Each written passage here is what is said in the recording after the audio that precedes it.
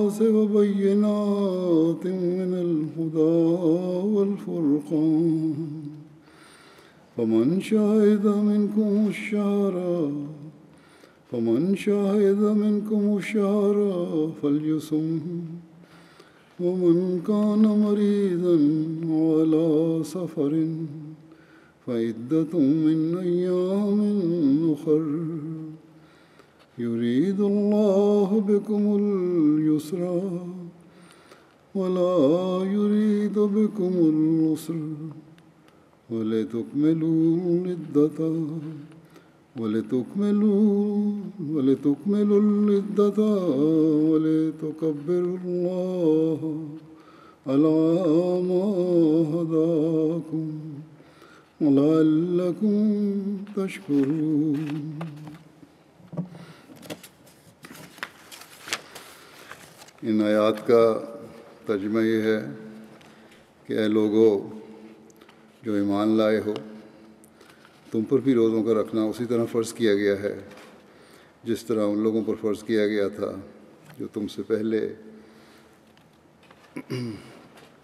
गुजर चुके हैं, ताकि तुम रूहानी और अखलाकी कमज़ोरियों से बचो। अगली आयत का तर्जमा है कि सो तुम रोज़े रखो चंद गिनती के दिन और तुम में से जो शख्स मरीज़ हो या सफ़र में हो तो उसे और दिनों में तादाद पूरी करनी होगी। और उन लोगों पर जो इस, यानी रोज़े की ताकत न रखते हों वो तौर फ़िदिया एक मस्किन का खाना देना शर्त इस्तात वाजिब है। और जो शख्स पूरी फरमबरदारी से कोई नेक काम करेगा तो ये उसके लिए बेहतर होगा। और अगर तुम इल्म रखते हो तो समझ सकते हो कि तुम्हारे रोज़े रखना तुम्हारे लिए बेहतर है।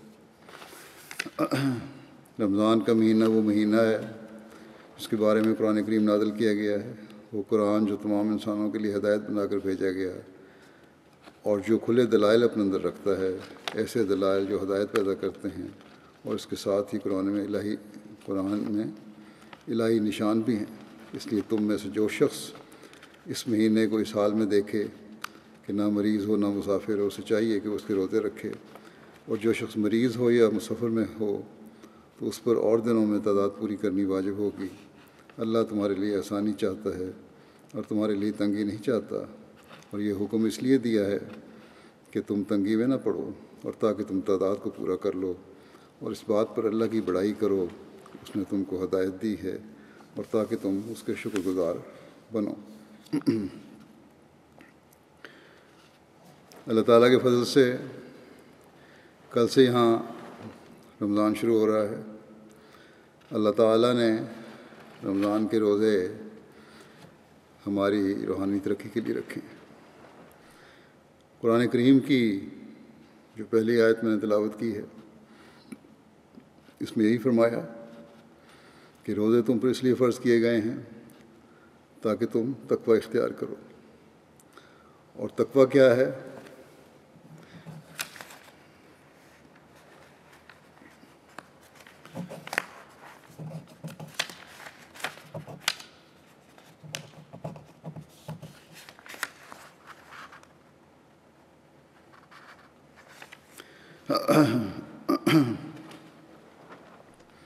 तकवा क्या है?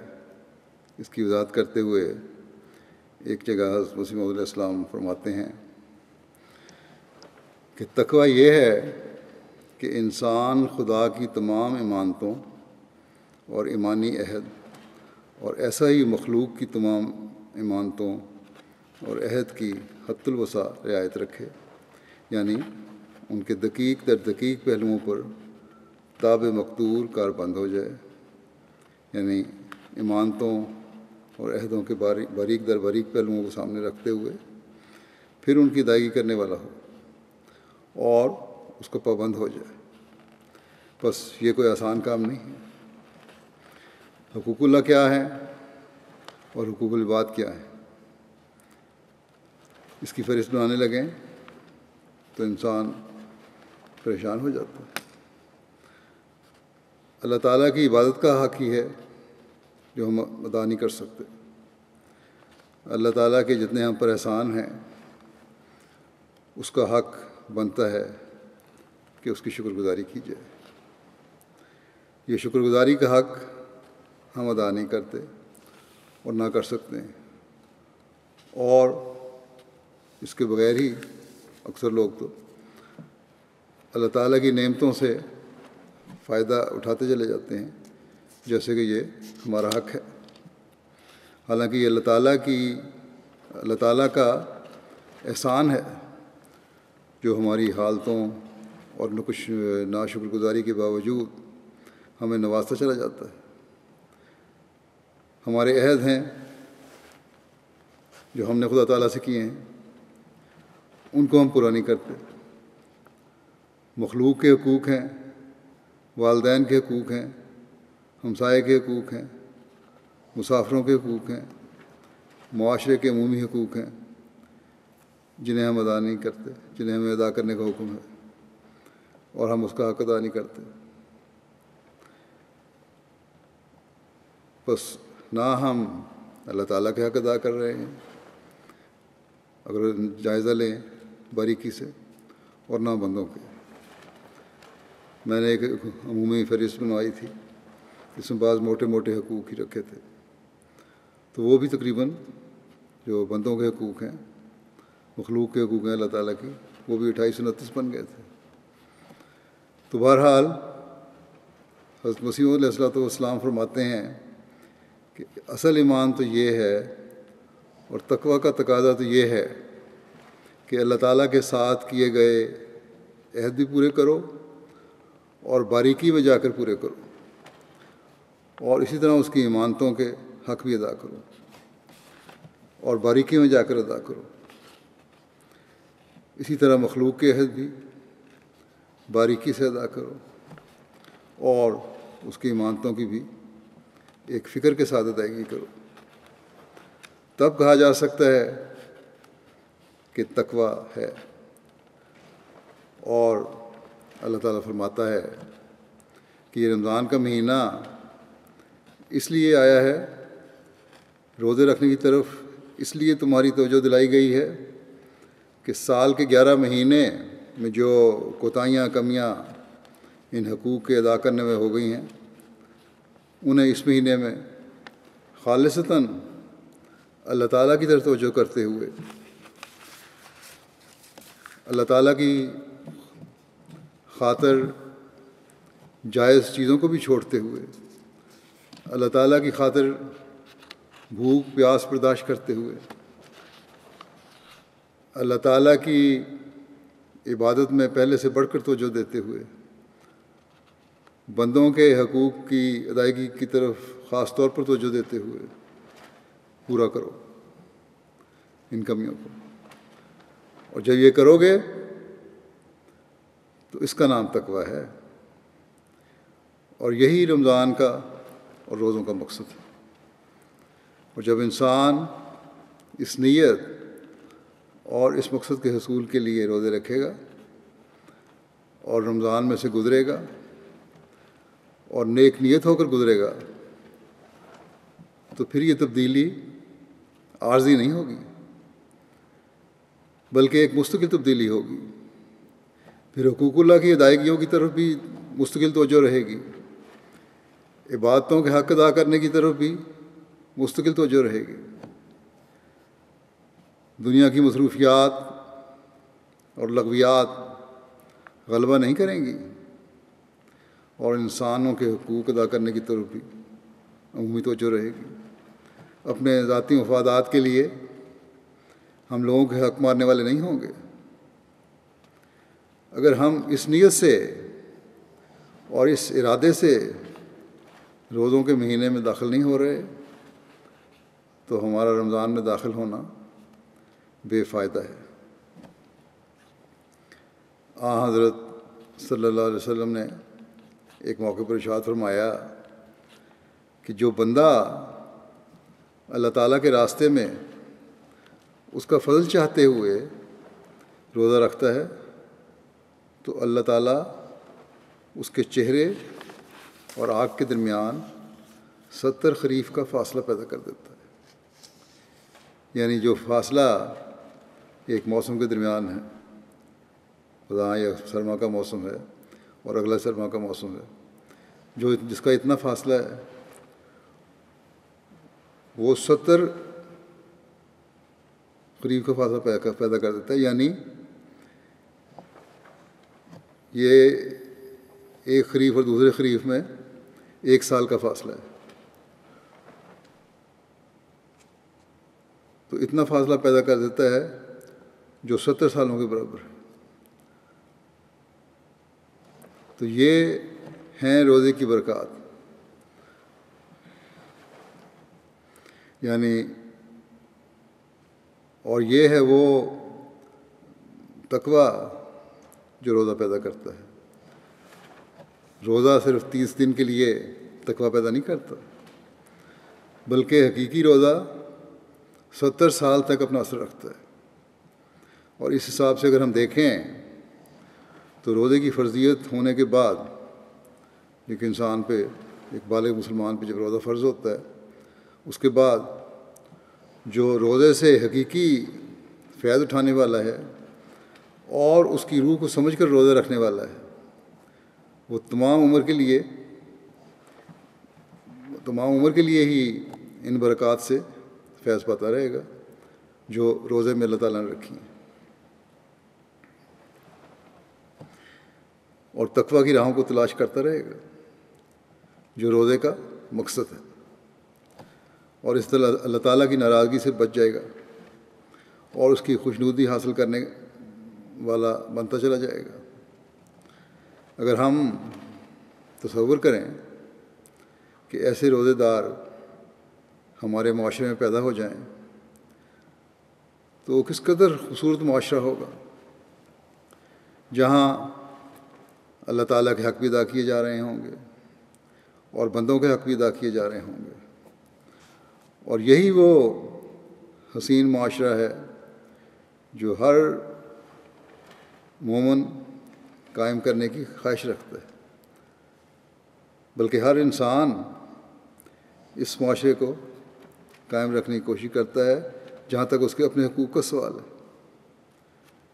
लेकिन जैसे कि मैंने कहा, हकूक़ का सवाल है। अमूमन अपने लिए ये तो पसंद करता है। चाहे दूसरे के लिए इसको ख्याल ना आए। लेकिन इस्लाम कहता है कि दूसरों के लिए भी तुमने ये माशरा कायम करना है। सिर्फ़ अपनी सहूलियात नहीं देखनी, अपने मफादात नहीं देखने, अपने हक, हकूक़ नहीं देखने, बल्कि दूसरों के हकूक़ का भी, की भी हिफाजत करनी है, उनका भी ख्याल करना है।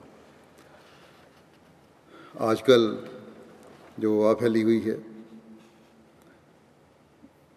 वायरस की, इसने हुकूमती कानून के तहत अक्सर लोगों को घरों में बंद कर दिया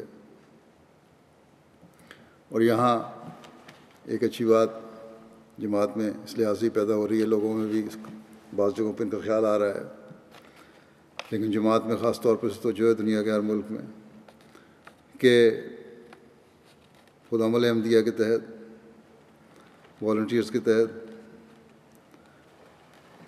इन जहाँ जहाँ मदद की ज़रूरत है लोगों को जिन्स पहुँचाने के लिए, दूसरी सहूलियात पहुँचाने के लिए, दवाइयाँ पहुँचाने के लिए वो कर रहे हैं। तो ये जो हक अदा किए जा रहे हैं, ये एक ऐसा नमूना पेश कर रहे हैं, जिससे अपने तो फ़ायदा उठा रहे हैं, गैर भी फ़ायदा उठाकर मुतासर हो रहे हैं। बस ये सोच जो आजकल पैदा हुई है, इंसानी खिदमत के लिए भी ये सोच हमेशा हमारे अंदर कायम रहने वाली होनी चाहिए, ना कि सिर्फ़ हंगामी हालात के लिए। बहरहाल, इसके अलावा रूहानी फ़ायदे क्या हैं? लोग लिखते हैं कि इस वजह से हमारे घर का एक नया माहौल बन गया है कि हम घरों में बैठ गए हैं। नमाज़ें बाजमात अदा होती हैं। नमाज़ों के बाद बाद मुख्तर दरसतदीस भी होता है।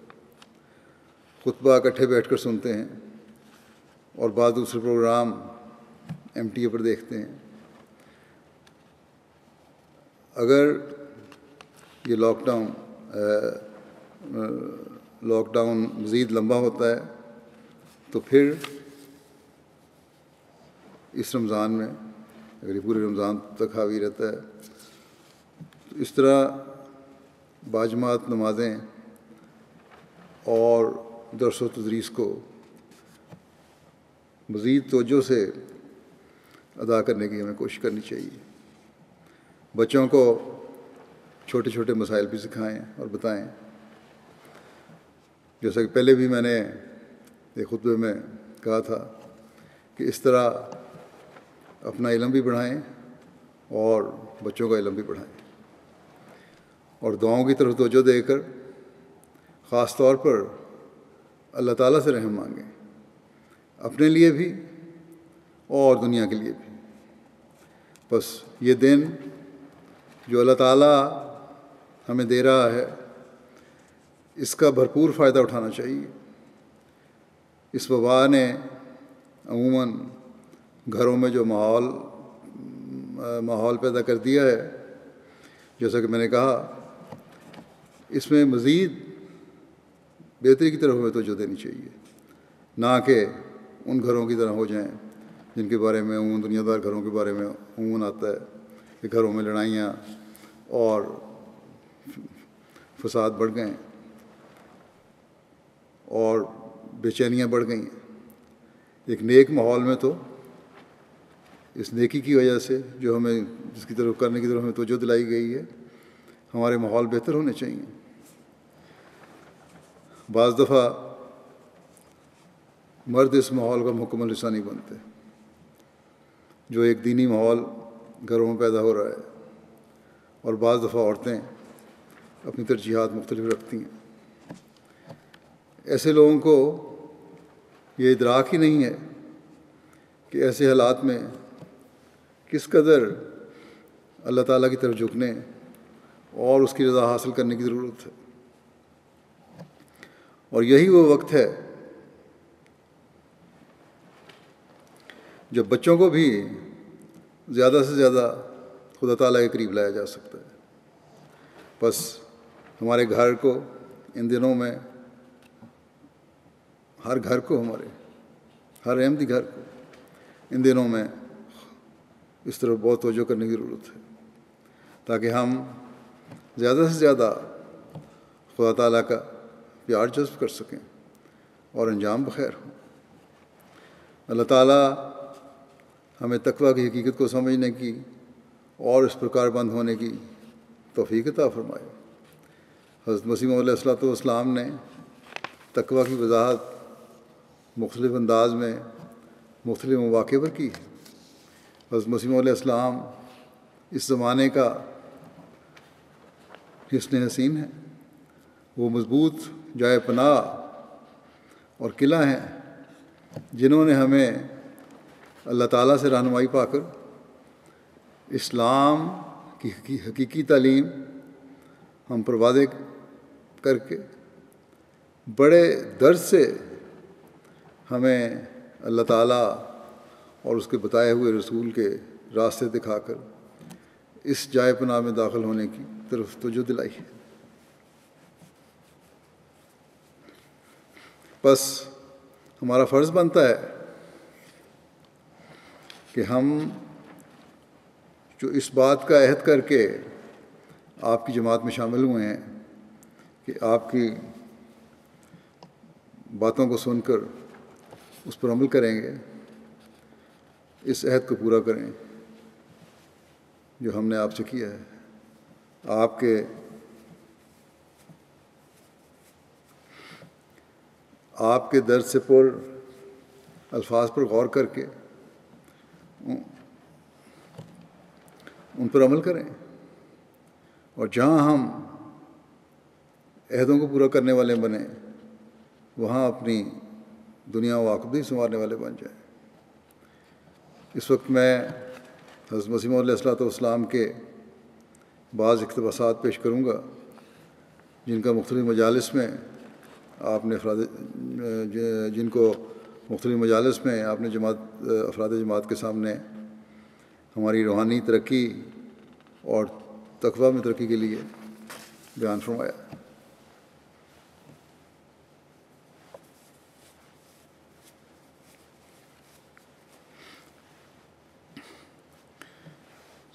एक मजलिस में इस बात को वजाहत से बयान फरमाते हुए कि तकवा क्या है? और क्यों कर हासिल हो सकता है? हज़रत अख्तर इस्लाम फरमाते हैं, ज़रूरी अमर ये है कि पहले ये समझ ले कि तकवा क्या चीज़ है और क्यों कर हासिल हो सकता है। तकवा तो ये है कि बारीक दर बारीक पलीदगी से बचे और उसके हसूल का ये तरीक है कि इंसान ऐसी कामिल तदबीर करे कि गुनाह के किनारे तक ना पहुँचे। और फिर मेरी तदबीर ही को काफ़ी ना समझे, बल्कि ऐसी दुआ करे जो उसका हक है कि गुदाज हो जावे। बैठकर सजदे में, रुकू में, क़याम में और तहज्जुद में गरज हर हालत में, हर हालत और हर वक्त इसी फ़िक्र दुआ में लगा रहे कि अल्लाह ताला गुनाह और मासीत की खबासत से निजात बख्शे। इस फरमाया कि इससे बढ़कर कोई नेमत नहीं है कि इंसान गुनाह और मासीत से महफूज और मासूम हो जाए। और खुदा ताला की नज़र में रास्तबाज और सादिक ठहर जावे। लेकिन ये नेमत, फरमाया, लेकिन ये नेमत ना तो निरी तदबीर से हासिल होती है और ना निरी दुआ से। ना कोशिश काफ़ी है, ना सिर्फ़ दुआ काफ़ी है, बल्कि दुआ और तदबीर दोनों के कामिल इतिहाद से हासिल हो सकती है। जब तक दोनों चीज़ों की इंतहा नहीं करोगे, ये चीज़ नहीं मिल सकती।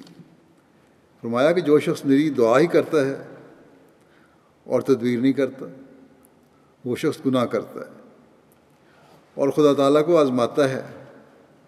ऐसा ही जो निरी तदबीर करता है और दुआ नहीं करता, वो भी शोखी करता है। और खुदा ताला से इस्तगना ज़ाहिर करके अपनी तजवीज़ और तदबीर और जेर, ज़ोर बाजू से नेकी हासिल करना चाहता है। ज़ोर बाजू से नेकियाँ नहीं हासिल हो सकती। फिर फरमाया, लेकिन मोमिन और सच्चे मोमिन और सच्चे मुसलमान का ये शेवा नहीं, वो तदबीर और दुआ दोनों से काम लेता है। पूरी तदबीर करता है, जो ज़ाहरी इसबाब हैं, उनको पूरा करता है। फिर मामला खुदा ताला पर छोड़कर दुआ करता है। और यही तालीम कुरान शरीफ की पहली सूरत में दी गई है। चुनाचे फरमाया है या का नाबुदो व या का नस्ताइन जो शख्स अपने कवा से काम नहीं लेता।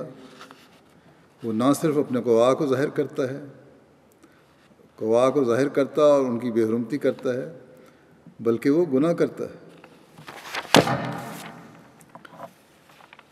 फिर इसकी मज़ीद तफसीर सही इसने बयान फरमाई कि जो कुछ कवा खुदा ताला ने इंसान को अता किए हैं, उनसे पूरा काम लेकर फिर वो अंजाम को खुदा के स्पुर्द करता है।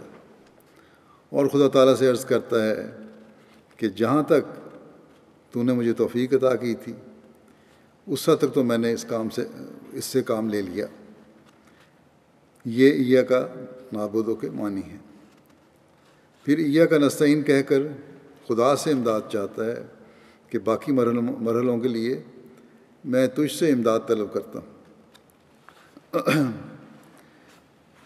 लेकिन हमें हमेशा याद रखना चाहिए कि खुदा ताला हमारे दिलों के हाल और हमारे हर अमल से वाकिफ़ है। इसलिए अपनी कोशिश को इंतहा तक पहुँचा कर जिस कदर और जिस हद तक तौफीक है, उस हद तक कोशिश करके फिर उसकी मदद का भी तलबगार हुआ जा सकता है। बस इस मामले में भी अपने नफ्स को अच्छी तरह टटोलने की ज़रूरत ये देखने की ज़रूरत है कि आया तकवा से हम काम ले रहे हैं कि नहीं। फिर आपने फरमाया, इसमें शक नहीं, इसमें शक नहीं है कि इंसान बाज़ात तदबीर से फ़ायदा उठाता है। लेकिन तदबीर पर कुल्ली भरोसा करना सख्त नादानी और जहालत है। जब तक तदबीर के साथ दुआ ना हो, कुछ नहीं। और दुआ के साथ तदबीर ना हो तो कुछ फ़ायदा नहीं। जिस खिड़की की राह से मासीत आती है, पहले ज़रूरी है कि उस खिड़की को बंद किया जाए फिर जिस सुराख से या जिस जगह से गुनाह अंदर आता है जो वजह बनती है चीज़, गुनाह की, नाफरमानी की, दीन से दूर हटने की, पहले ज़रूरी है उस वजह को दूर किया जाए। फरमाया कि इस खिड़की को बंद किया जाए फिर नफ्स की कशाकश के लिए दुआ करता रहे।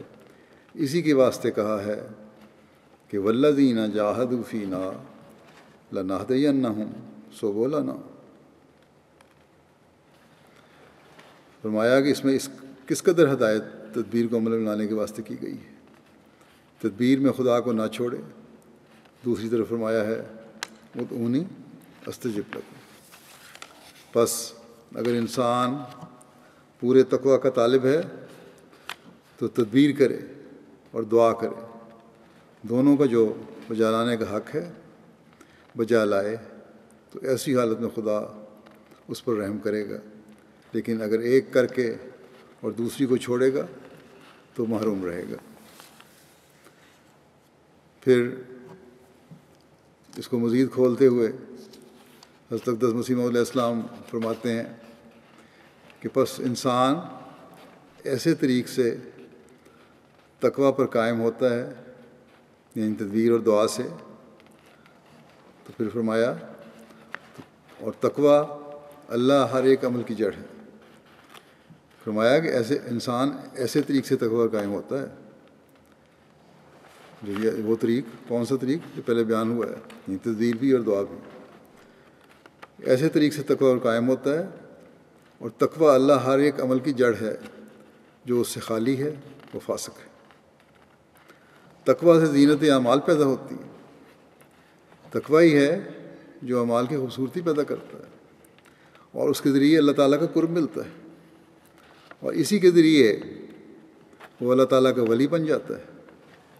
चुनाच फरमाया, इन्ना औलियाहू इल्लल्मुत्तकून इन औलियाहम इन औलियाहू इल्लल्मुत्तकून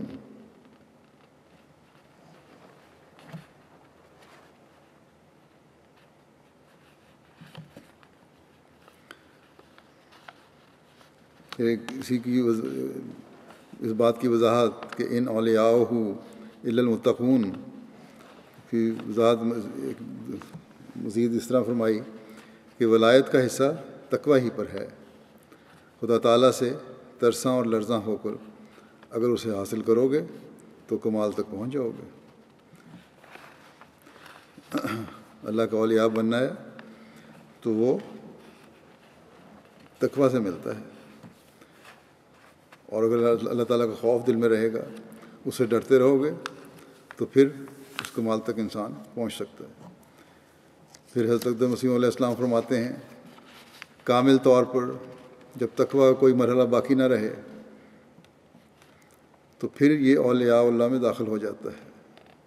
और तकवा हकीकत में अपने कामिल दर्जे पर एक मौत है, क्योंकि जब नफ्स की सारे पहलुओं से मुखालफत करेगा तो नफ्स मर जाएगा। इसलिए कहा गया है कि मूतु कबला अन तमूतु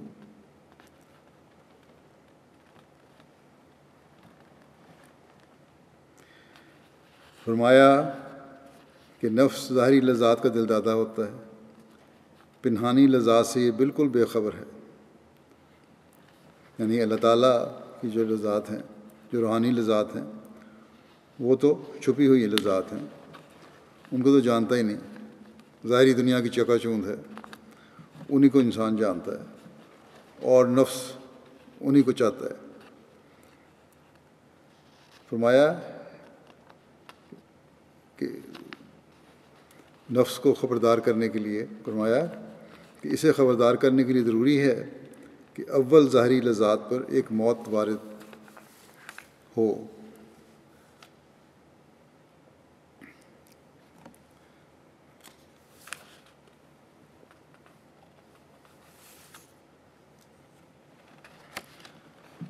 और फिर नफ्स को पिनहानी लज़ात का इल्म हो। ज़ाहरी लज़ात जो हैं, उन पर मौत वारद हो, फिर नफ्स को पिनहानी लज़ात का इल्म होगा। फरमाया कि इस वक्त इलाही लज़ात जो कि जन्नती ज़िंदगी का नमूना है, शुरू होंगी। जब छुपी हुई लज़ात का इल्म होना शुरू होगा तो जन्नती लज़ात का, जन लज़ात का जन्नती ज़िंदगी का नमूना शुरू होगा। फिर आपने फरमाया, जमात को नसीहत करते हुए। इसी हवाले से कि बस हमारी जमात को चाहिए कि नफ्स पर मौत वारद करने, ये कोई बड़े अलियावला और बहुत पाए के पहुँचे हुए लोगों को नसीहत नहीं है, बल्कि जमात के उमूमी अफराद को नसीहत है आपकी। ये ना समझे कि ये इस मुकाम पर पहुँचना के लिए अल्लाह ताला के लिए ख़ास मुकाम चाहिए और हर नफ्स नहीं पहुँचता। आपने उमूमी नसीहत फरमाई जमात को। फरमाया, बस हमारी जमात को चाहिए कि नफ्स पर मौत वारद करने और हसूल तकवा के लिए वो अव्वल मशक करें। जैसे बच्चे खुशखती सीखते हैं तो अव्वल अव्वल टेढ़े हरूफ लिखते हैं। लेकिन आखिरकार मशक करते करते ख़ुद ही साफ़ और सीधे हरूफ लिखने लग जाते हैं। इसी तरह उनको भी मशक करनी चाहिए। जब अल्लाह ताला उनकी मेहनत को देखेगा तो ख़ुद उन पर रहम करेगा।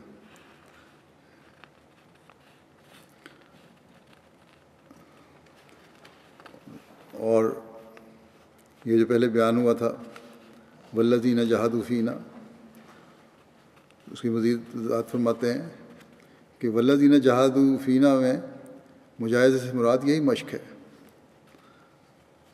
मेहनत करे इंसान और अल्लाह ताला दुआ मांगे तो अल्लाह ताला रहम करता है और उसको फल लगाता है। फरमाया कि इसमें मुजाहिद से मुराद यही मश्क है, जिस तरह एक बच्चा मश्क करता है, कि एक तरफ़ दुआ करता है, दूसरी तरफ़ कामिल तदबीर करे। आखिर अल्लाह ताला का फजल आ जाता है और नफ्स का जोश व खरोश दब जाता है और ठंडा हो जाता है और ऐसी हालत हो जाती है जैसे आग पर पानी डाल दिया जावे। बहुत से इंसान हैं जो नफ्स अमारा ही में उतला है। फिर आप फरमाते हैं, जमात की अंदरूनी असलाह के लिए कि मैं देखता हूँ कि जमात में बहम नज़ाएँ भी हो जाती हैं। आपस में झगड़े हैं, रंजिशें हैं, दूरियाँ हैं, वो हो जाती हैं। और मामूली नज़ा से फिर एक दूसरे की इज़्ज़त पर हमला करने लगता है और अपने भाई से लड़ता है। ये बहुत ही नामुनासिब हरकत है। ये नहीं होना चाहिए, बल्कि एक अगर गलती का इतराफ़ कर ले तो क्या हरज है? फरमाया के बाद आदमी ज़रा ज़रा सी बात पर दूसरे की ज़िल्लत का इकरार किए बगैर पीछा नहीं छोड़ते। इन बातों से परहेज़ करना लाजम। खुदा ताला का नाम सतार है। फिर ये क्यों अपने भाई पर रहम नहीं करता? और अफव और पर्दापोशी से काम नहीं लेता? चाहिए कि अपने भाई की पर्दापोशी करे और उसकी इज़्ज़त व आबरू पर हमला ना करे।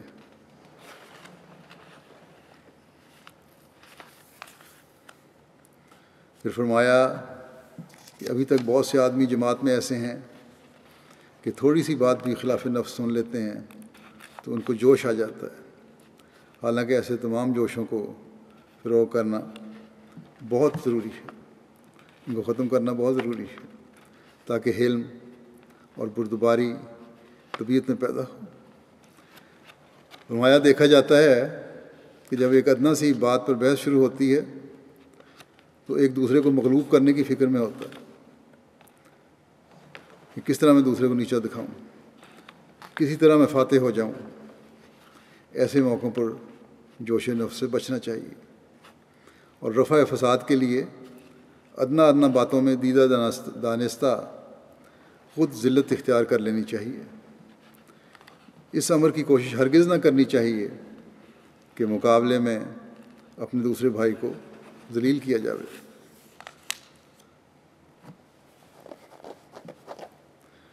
फरमाया कि ये बड़ी रौनत की जड़ और बीमारी है कि दूसरे की ख़ता पकड़कर इश्तिहार दे दिया जाए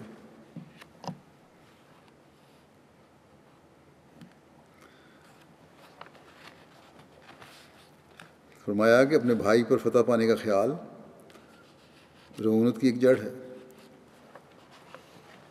रऊनत की जड़ पहले बयान फरमाई थी कि दूसरे की खिताब पकड़ कर इश्तहार दे दिया जाए। मज़ीद में वजात फरमाई कि अपना, अपने भाई पर फतह पाने का ख्याल भी रऊनत की एक जड़ है और बड़ी भारी मर्ज़ है कि वह अपने एक भाई के ऐप के मुश्तहर करने की तरगीब दिलाती है।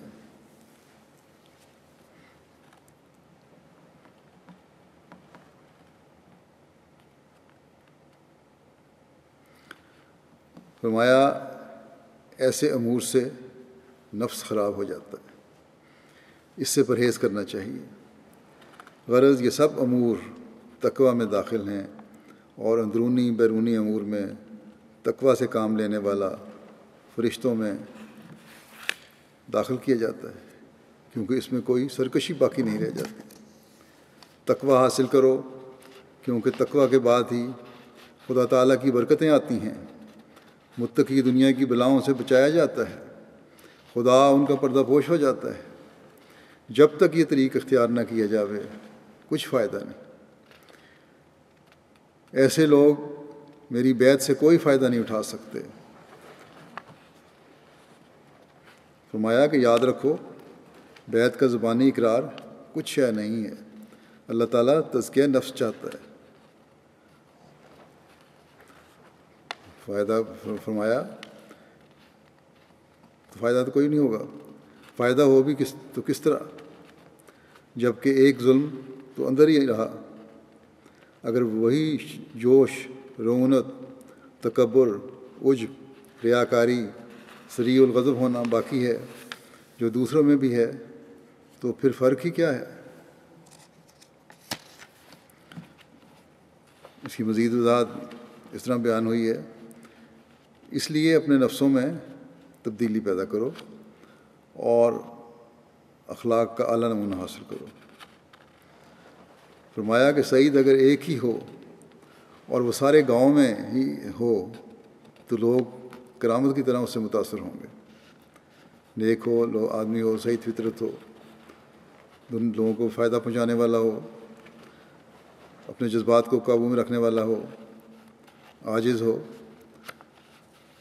तो फरमाया कि लोग करामत की तरह उससे मुतासर होंगे। ये भी एक ज़रिया है तबलीग करने का।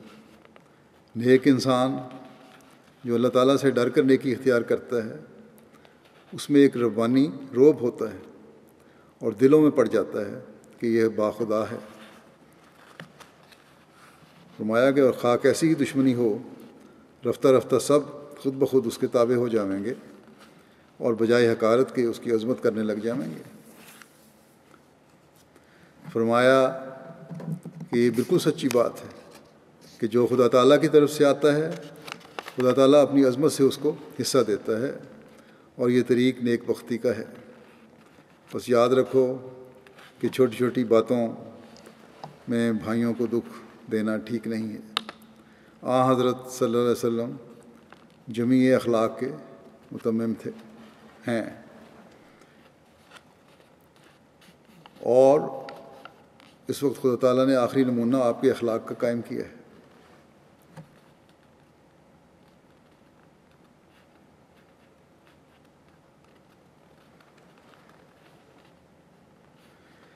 फरमाया कि इस वक्त भी अगर वही दरिंदगी रही तो फिर सख्त अफसोस है। अफसोस और कम नसीबी है। बस दूसरों पर ऐब ना लगाओ, क्योंकि बाज़ अवत इंसान दूसरों, दूसरे पर ऐब लगाकर खुद इसमें गिरफ़्तार हो जाता है। अगर वो ऐब उसमें नहीं, अगर वो ऐब उसमें नहीं है और फिर तुमने इल्ज़ाम लगाया तो खुद उस गिरफ़्तार हो जाओगे। लेकिन अगर वो ऐब सचमुच उसमें है, जिस पर तुम इल्ज़ाम लगा रहे हो, जिसके बारे में कह रहे हो कि उसमें ये ऐब है तो फरमाया अगर सचमुच उसमें है तो उसका मामला फिर खुदा ताला से है। फिर भी तुम्हें कोई ज़रूरत नहीं ऐब लगाने की। अगर बुराई है तो उसका मामला खुदा के साथ है। और अगर नहीं है और तुम कह रहे हो तो वो फिर तुम्हारे ऊपर वो उलट पड़ सकता है। फिर फरमाया, बहुत से आदमियों की आदत होती है कि वो अपने भाइयों पर मान, नापाक इल्ज़ाम लगा देते हैं। इन बातों से, इन बातों से परहेज़ करो। बनी नौ इंसान को फ़ायदा पहुँचाओ और अपने भाइयों से हमदर्दी करो। हमसायों से नेक सलूक करो। अपनी बीवियों से उमदा मुआशरत करो और सबसे पहले शिरक से बचो। कि ये तकवा की इब्तदा, इब्तदाई ईंट है। फिर आप फरमाते हैं, तकवा के मानी हैं, बदी की बारीक राहों से परहेज़ करना, मगर याद रखो, नेकी इतनी नहीं कि एक शख्स कहे कि मैं नेक हूँ, इसलिए कि मैंने किसी का माल नहीं लिया नकबजनी नहीं की, चोरी नहीं करता, बदनज़री और जना नहीं करता। ऐसी नेकी आरिफ के नज़दीक हँसी के काबिल है। क्योंकि अगर वो इन बदियों का इरतकब करे और चोरी या डाका जनी करे तो वो सजा पाएगा। बस ये कोई नेकी नहीं जो आरफ़ की निगाह में काबिल कदर हो, बल्कि असली और हकीकी नेकी ये है कि नोए इंसान की खिदमत करे और अल्लाह ताला की राह में कामिल सिद्क और वफ़ादारी दिखलाए और उसकी राह में जान तक दे देने को तैयार हो। इसलिए यहाँ फरमाया है इन अल्लाह माल्लजीन तक़ौ इन अल्लाह माल्लजीन तक़ौ वल्लजीन हम मोहसिनून यानी अल्लाह ताला उनके साथ है जो बदी से परहेज़ करते हैं और साथ ही नेकियाँ भी करते हैं ये खूब याद रखो कि निरा बदी से परहेज़ करना कोई खूबी की बात नहीं जब तक उसके साथ नेकियाँ ना करे फिर आप फरमाते हैं, यकीनन समझो कि हर एक पाक पाजी और नेकी की असल जड़ खुदा ताला पर ईमान लाना है। जिस कदर इंसान का ईमान बिल्ला कमज़ोर होता है, उसी कदर अमाल सालिया में कमज़ोरी और सुस्ती पाई जाती है। लेकिन जब ईमान कभी होता है, अल्लाह ताला में ईमान मज़बूत होगा तो अमाल भी अच्छे होंगे। जब ईमान कभी हो और अल्लाह ताला को उसकी तमाम सिफ़ात सिफ़ात कामला के साथ यकीन कर लिया जाए उसी कदर अजीब रंग की तब्दीली इंसान के अमाल में पैदा पैदा हो, हो जाती है। अल्लाह ताला की सिफ़ात पर कामल यकीन पैदा हो जाए तो एक अजीब रंग की तब्दीली इंसान के अमाल में पैदा हो जाती है।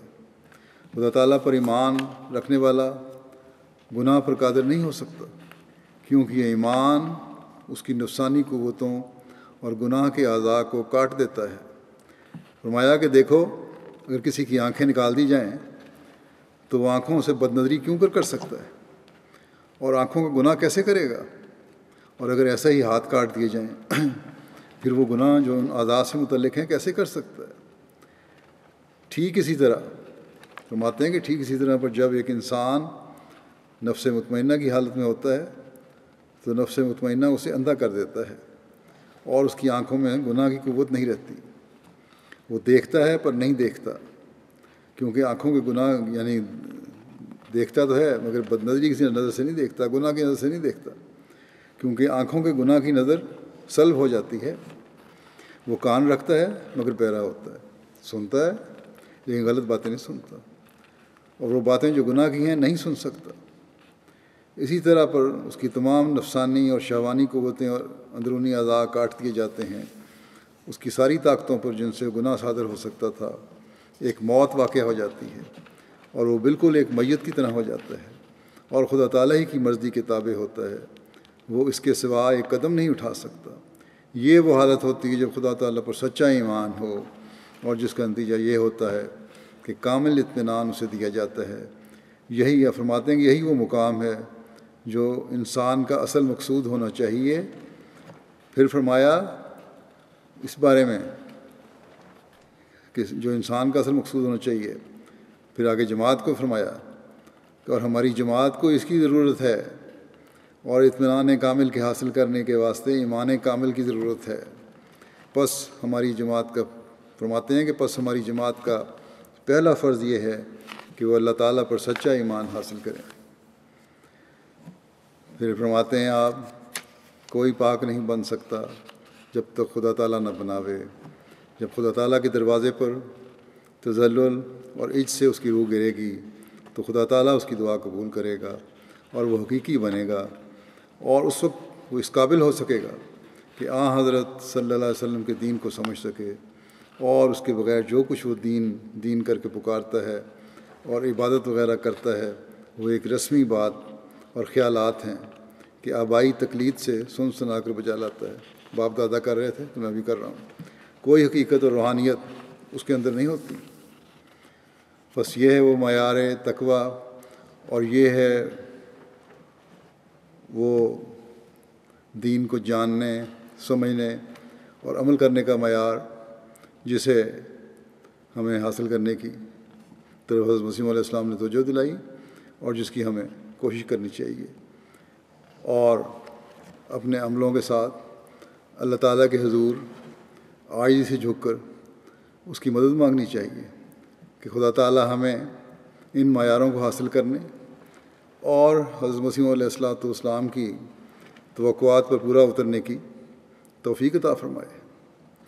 और यही तकवा है जो फिर अगली आयात में बयान करता जो रोज़े की तफसीलात बयान की गई हैं, उसकी छूट की, उसके सही इस्तेमाल की भी तोफ़ी देता है। ये हर इंसान की अपनी हालत पर अल्लाह ताला ने छोड़ा है। बशर्ते के तकवा से काम लिया जाए। अगर रोज़े रखने की ताकत नहीं, ऐसी बीमारी है जिसमें रोज़ा बर्दाश्त करना मुश्किल है, ऐसी बीमारी है जिसमें डॉक्टर ने कहा है कि रोज़ा नहीं रखना तो फिर फिदिया दे दो। लेकिन बहाने तलाश करके फिदिया का जवाब पैदा ना करो। बल्कि फरमाया कि नेक काम के लिए फरमा बरदारी ज़रूरी है। ये देखना है कि अल्लाह ताला ने किस तरह इस काम को करने का हुक्म दिया है। बस अगर गहराई में जाकर तकवा पर चलते हुए अगर कुछ अपना जायज़ा ले तो पता चलता है कि रोज़ा रखना बेहतर है या फिदिया देना है। आर्जी तौर पर अल्लाह ताला ने फिर आगे मज़ीद वजाहत फरमा दी कि मरीज़ हो या सफ़र पर हो तो रोज़ा ना रखो, क्योंकि अल्लाह ताला तंगी नहीं चाहता। और जब बीमारी दूर हो जाए तो फिर छोड़े हुए रोज़े पूरे करो। सफ़र के दौरान जो रोज़े छूट गए, उन्हें पूरा करो। चाहे फिदिया दे भी दिया हो। बस घूम फिर कर बात वहीं आ जाती है कि तकवा से काम लेते हुए अल्लाह ताला का खौफ और इस बात को सामने रखते हुए कि वो हमारी हालतों को जानता है, अपने फ़ैसले करो तो अल्लाह ताला तुम्हारे लिए बेहतर सूरत पैदा करेगा, बेहतर नतज पैदा करेगा। हज़रत मसीम सलाम फरमाते हैं, वो शख्स जिसका दिल इस बात से खुश है कि रमज़ान आ गया और मैं इसका मुंतज़र था कि आवे और रोज़ा रखूँ। और वो बवजह बीमारी के रोज़ा नहीं रख सका तो वो आसमान पर रोज़े से महरूम नहीं है। फरमाया, इस दुनिया में बहुत लोग बहाना जू हैं, बहाने करते हैं, और वो ख्याल करते हैं कि हम जिस तरह अहले दुनिया को धोखा दे लेते हैं, वैसे ही खुदा को फरेब देते हैं। दुनिया वालों को धोखा दे लिया, अल्लाह को भी दिया जा सकता है।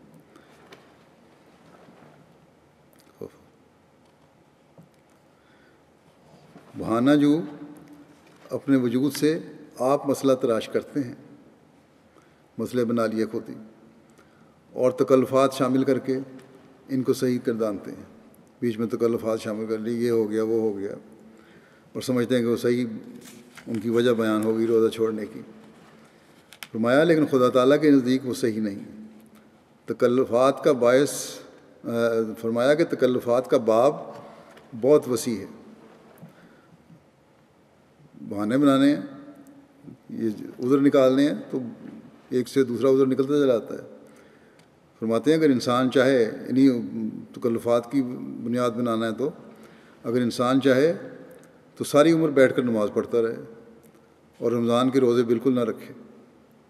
मगर फरमाते हैं कि मगर खुदा उसकी नीयत और इरादे को जानता है। इंसान, अल्लाह ताला आलम गैब है। पताल तक को जानता है हमारी। वो हमारी नीयतों को भी जानता है, हमारे इरादों को भी जानता है। जो फरमाया, जो सिद्क और अखलास रखता है, उसके साथ तो अल्लाह ताला सलूक करता है सिद्क और अखलास दिखाने वाले का। लेकिन जो बहाना जो है, उससे फिर उसके मुताबिक सलूक होता है, क्योंकि अल्लाह ताला जानता है। फरमाते हैं, खुदा ताला जानता है, जो सिद्क और अखलास रखता है खुदा ताला जानता है कि उसके दिल में दर्द है। बहाना जो है, उसके दिल में दर्द कोई नहीं। और खुदा ताला उसे सवाब भी ज़्यादा देता है, क्योंकि दर्द दिल एक काबिल कदर शय है। हीला जो इंसान तावीलों पर तकिया करते हैं, लेकिन खुदा ताला के नज़दीक ये तकिया कोई शय नहीं। बस ये असूल है जो हमें अपने सामने रखना चाहिए। अल्लाह ताला ने वादे फरमा दिया कि जो मुसाफिर है और मरीज़ है, उसके लिए तंगी नहीं, वो बाद में पूरा कर ले। लेकिन हज़रत मसीम ने यही फरमाया है कि इस हालत में भी फिदिया भी ज़रूर दो, इससे रोज़ा रखने की तोफ़ी पैदा होगी।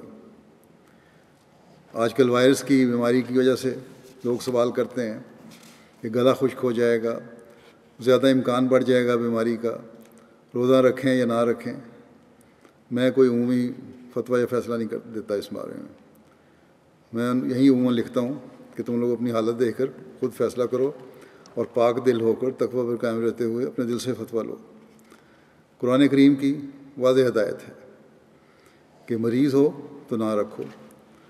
मरीज़ होने के इम्कान पर कि मरीज़ बन जाएँगे, रोज़ा छोड़ना ये गलत है।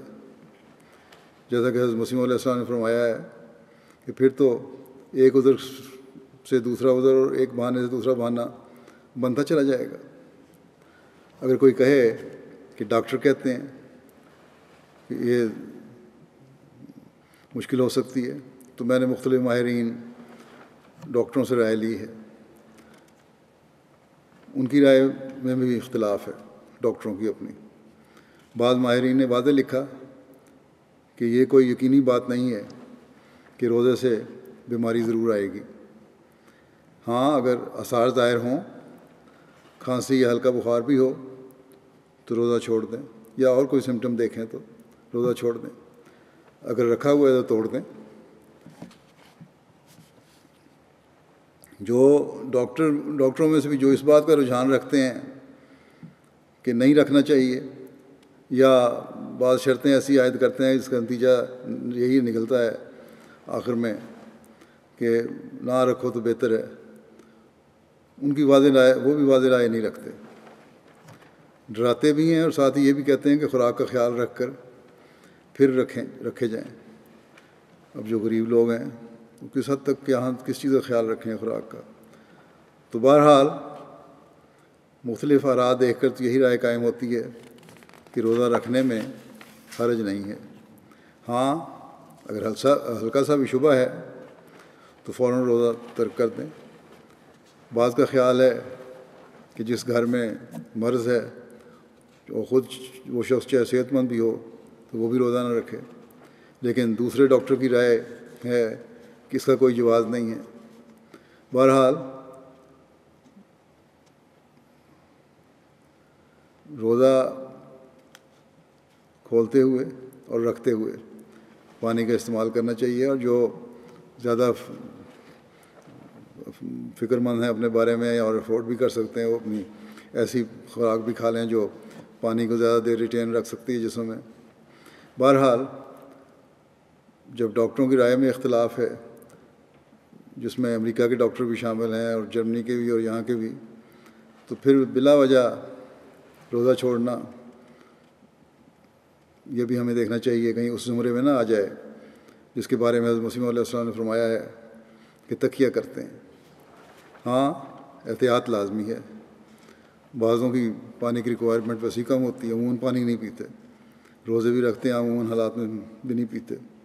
हमारे एक बुज़ुर्ग होते थे, चौधरी नज़ीर साहब। गर्मी में सारा दिन फिरते रहते थे और हम पानी के लिए आते ही पानी जब झपटते थे।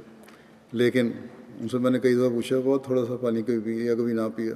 कहते, मेरी पानी की रिक्वायरमेंट ही कम है। बहरहाल मुख्तलि दवाएँ भी होती हैं। इन हालात में किस हद तक ये उसका ख्याल रखना चाहिए? बहरहाल, ये अपनी अपनी हालतें और तबीयतें देख के हर कोई फ़ैसला करे, अपने ज़मीर से फतवा ले। और दुआ करें, अल्लाह ताला से तौफीक मांगते हुए रोज़ा रखने के लिए दुआ करें। और दुआएँ भी इन दिनों में बहुत ज़्यादा करें कि अल्लाह ताला इंसानों को अकल भी दे, खुदा ताला को पहचानने वाले हों। अल्लाह ताला इस, वबा को दुनिया से जल्द ख़त्म करे, दुनिया पर रहम फरमाए। और हम भी, अहमदी भी अल्लाह ताला और उसके बंदों का तकवा पर चलते हुए हक अदा करने वाले हों और रमज़ान की बरक़ात से भरपूर फ़ायदा उठाने वाले हों। ये भी याद रखें जो आजकल दुनिया के हालात हो रहे हैं, जब ऐसी जिस वबा की वजह से मुआशी हालात भी इंतहाई ख़राब हो चुके हैं दुनिया के, जब ऐसी, ऐसे मुआशी हालात आते हैं, जैसे आजकल हैं तो फिर जंगों के इम्कान ही बढ़ जाते हैं। बहुत से तजिया निगार इस तरफ़ की इस तरह की बातें भी कर रहे हैं। और फिर दुनियादार हुकूमतें अपने मफादात के हल तलाश करने के लिए दुनियावी हीलों से इसके हल तलाश करने की कोशिश करते हैं। तोजो बिटाने के लिए, अपने अवाम की, और ऐसी बातें करते हैं जो फिर मज़ीद मुश्किल में उनको डालने वाली हो। फिर मज़ीद तबाही में ये लोग चले जाते हैं। और जैसे कि मैंने कहा, तबसरा करने वाले भी इस रंग में भी करने लग गए हैं। बस अल्लाह ताला बड़ी ताकतों को भी अकल दे कि वो भी अकल से काम लें और कोई ऐसा कदम ना उठाएँ जिससे दुनिया में मज़ीद फसाद पैदा हो और मज़ीद तबाही आए। दुनिया में अब तो खुले तौर पे अखबार में भी आने लग गया। तबसरा निगार भी करने लगे। अमेरिका ने ईरान को धमकी दी। चीन पर इल्ज़ाम लगाए जा रहे हैं कि उसने सही इतला नहीं दी। उसके मुकदमे होने चाहिए, उसके साथ ये सलूक होना चाहिए। हम ये कर देंगे, ईरान के साथ हम ये कर देंगे। तो बहरहाल, अमेरिका की हुकूमत को भी अकल करनी चाहिए। बाकी हुकूमतों को भी अकल करनी चाहिए। और इन हालात में बजाय इसके कि कोई गलत कदम उठाकर दुनिया को मज़ीद तबाही की तरफ़ लेके जाएँ, सही सोच के साथ, सही प्लानिंग करके और अल्लाह ताला की तरफ़ रजू करते हुए, उसकी तरफ़ झुकते हुए, अल्लाह ताला से मदद मांगते हुए इस वबा से बचने के लिए दुआएँ करें और कोशिश करें और इस बीमारी के इलाज के लिए भी जो साइंसदान कोशिश कर रहे हैं, उनकी मदद करें।